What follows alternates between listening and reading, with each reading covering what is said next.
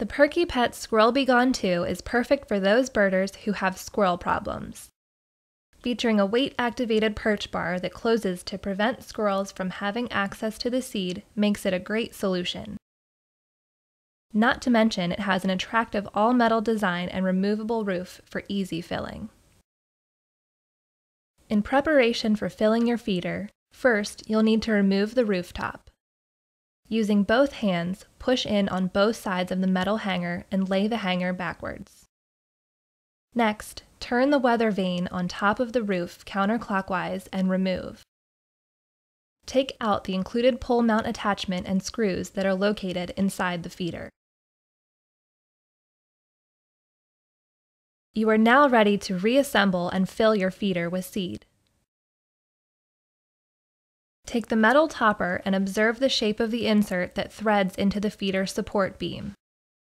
Line up the inserts with the opening in the support beam. Once they are lined up, push down and turn the weather vane clockwise to secure the rooftop closed.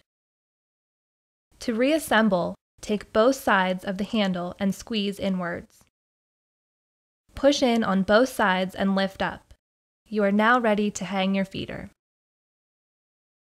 Hang your feeder by a hook, the feeder handle, or if you choose to pole mount your feeder, use the included pole mount insert and screws.